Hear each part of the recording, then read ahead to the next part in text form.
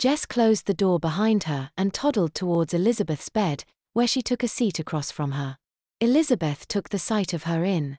There was her older sister, her best friend, and someone she'd always looked up to, wearing a shirt that didn't cover her belly button and a thick, disposable diaper. It awakened a sense of maternity within her. She thought Jess incredibly cute. I want to apologize for the way I acted towards you tonight, Lizzie. I was completely wrong.